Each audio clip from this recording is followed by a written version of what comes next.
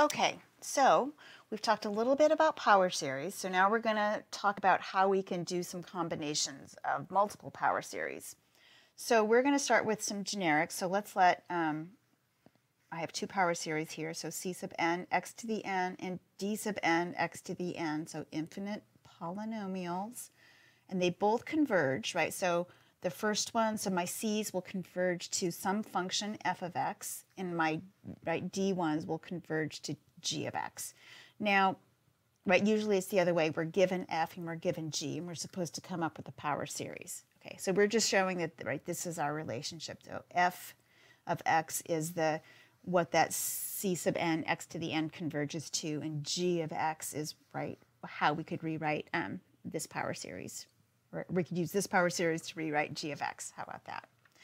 On some interval i. So they're both converging on the same interval. Now, if they don't both converge to exactly the same interval i, then you have to take the intersection of the two intervals. So it's the smallest interval that they both converge on or over.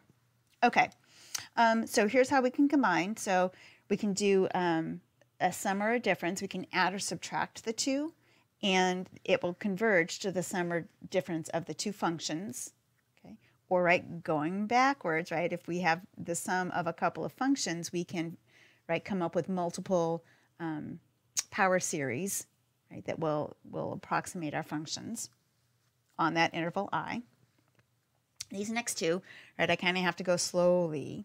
So for any integer m, right, greater than or equal to zero, and any real number b, so b is a coefficient, m is going to be this power of x, okay, then we can take our, right, our series here, the c of n xn, so we know that c sub n x sub n converges to f, we can multiply that by a coefficient times an x to a fixed integer, right, so to a fixed power, and that will converge to that thing we multiplied by, b times x to the m, times f of x, what that series of c's converged to.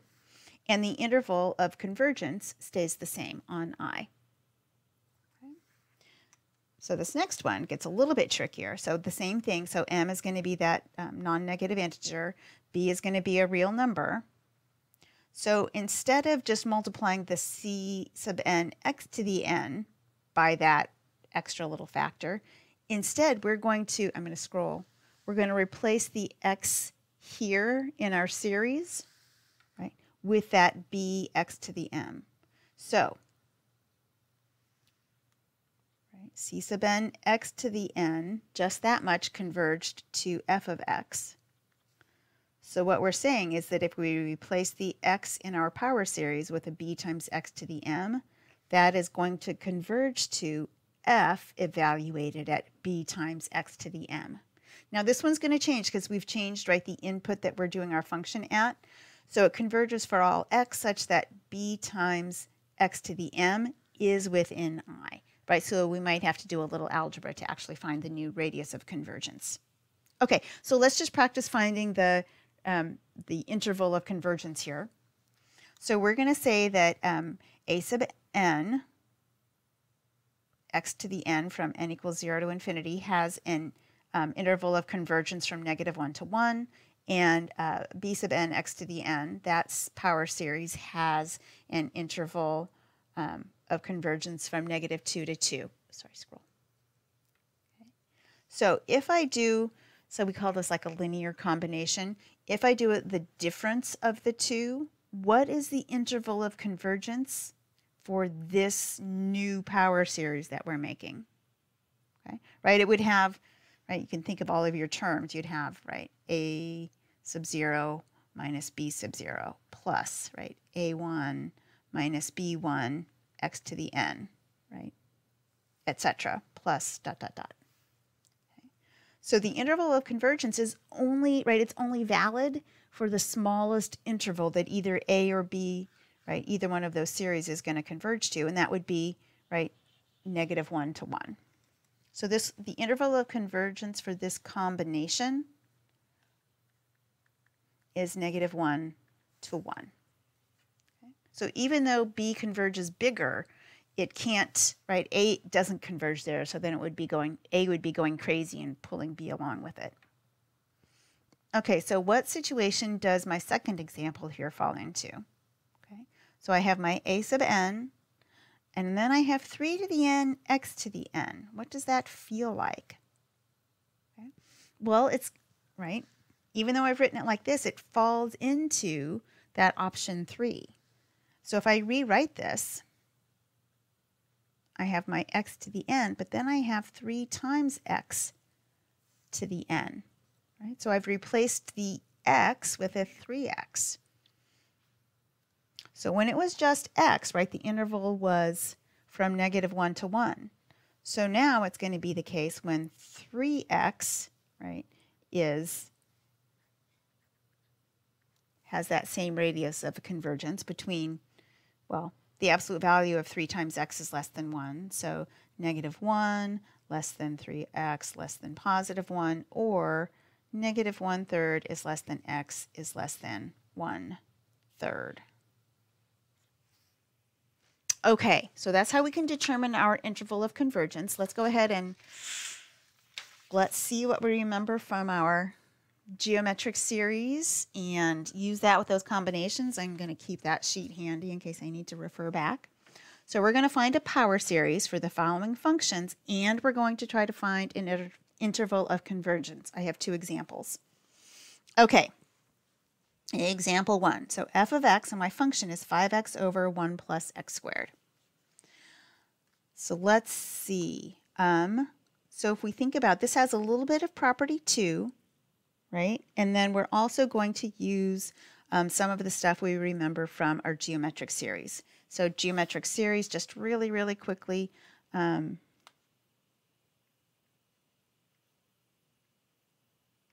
right, the way we use this with our functions was uh, 1 over 1 minus x equals the series x to the n and equals 0 to infinity for all x less than 1.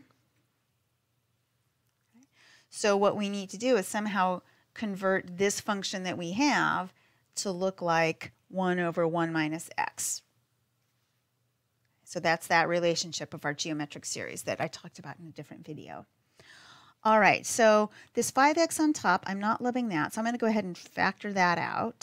So I'm going to have a 5x in front and then a 1 over 1 plus, oh gosh, 1, got my white out, 1 plus x squared.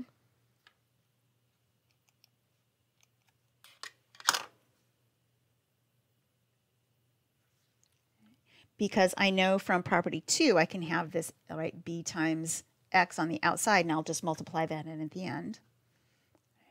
And now this inside I need to convert to look like 1 minus x squared.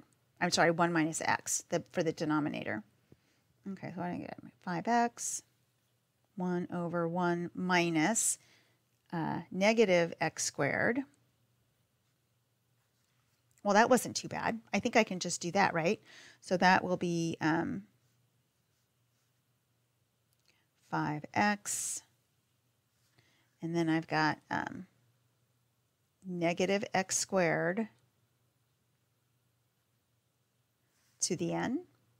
I'm going to go ahead and, and starts at 0 to infinity. I'm going to go ahead and bring my 5x in, and we're going to do some manipulating on that.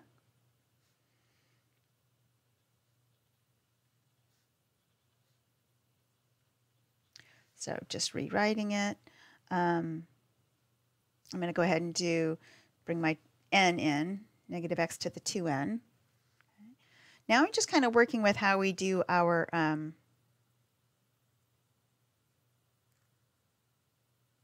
series, how we usually write those. Sorry, I just started, I paused because I want to do my interval of convergence before I get too far along here. Um, interval of convergence, so back here, right, so let's grab our interval of convergence at this step.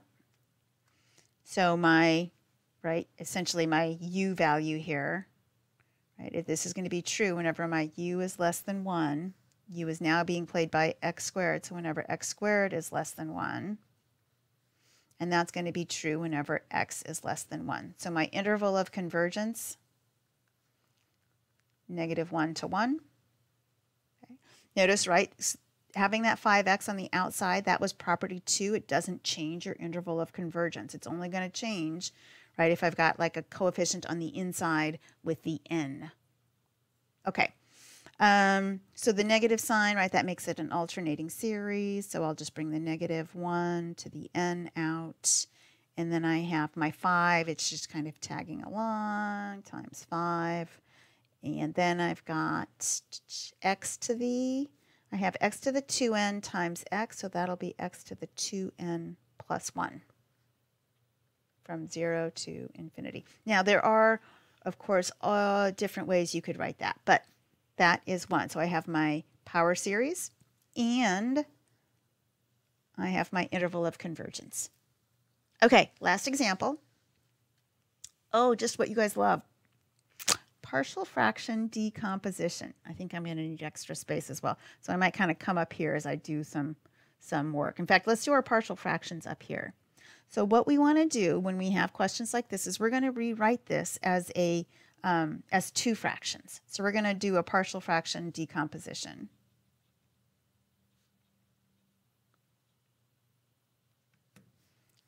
So I'm going to take my function g.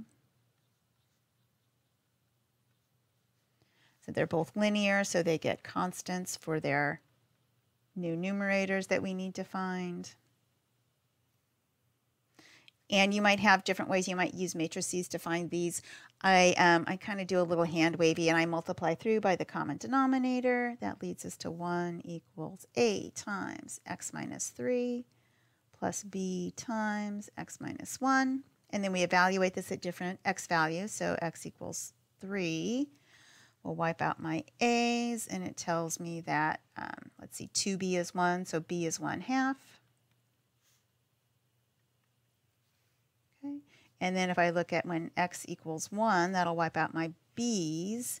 And then put a 1 in here for this x. So 1 minus 3 is negative 2 times a is 1. Negative 2a is 1. So a is negative 1 half.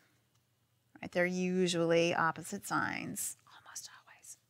Okay, so here we go. So g of x is equivalent to, so I haven't done the power series yet. I'm just finding an alternate way to write my g. Okay, so g of x I could write instead as uh, negative 1 half over x minus 1 plus positive 1 half over x minus 3. All right. Now let's, okay, go back up there and look at your geometric series. In fact, I'll bring it back down because it's easier to have it close by.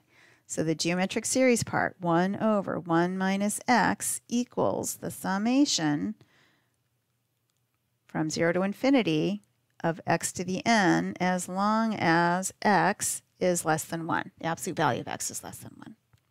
Okay, so if you look at this first one, right, it looks super darn close. I've got the negative 1 half up there, but okay, I can make that work out. Uh, right, I'll just multiply it in. But my, my 1 and my x are in the wrong order. Okay, so here's something. Maybe, maybe somebody told you a long time ago, but maybe you don't remember. Notice what happens if I multiply top and bottom of this fraction by negative 1? First off, right, it's not changing the value, so top and bottom by the same amount doesn't change the value.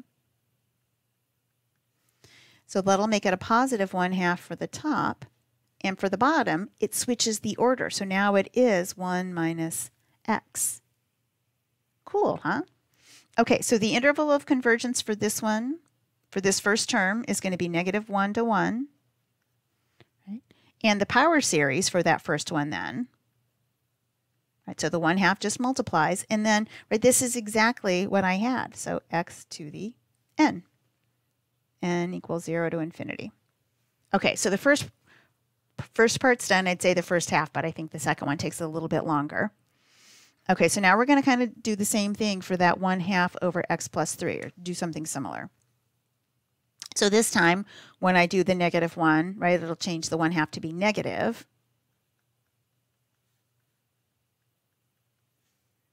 Okay, so now I have minus 1 half over um, 3 minus x, but I need this 3 to be a 1. right? So instead, what we're going to do is we're going to factor a 3 out. So ignore all this right here. I'm just kind of building my answer down here across the bottom. So I'm going to work across here. So I'm going to go ahead and factor a 3 out of the denominator. So that'll leave me a 1 minus x over 3. Okay. So this 3 that I factored out can like migrate up to live with a 2. It, it doesn't go on top. It goes here with a 2 because, right, it's like 1 negative 1 half divided by 3. So now I have negative 1 sixth over 1 minus x over 3. Okay, so let's talk about the interval of convergence. Okay.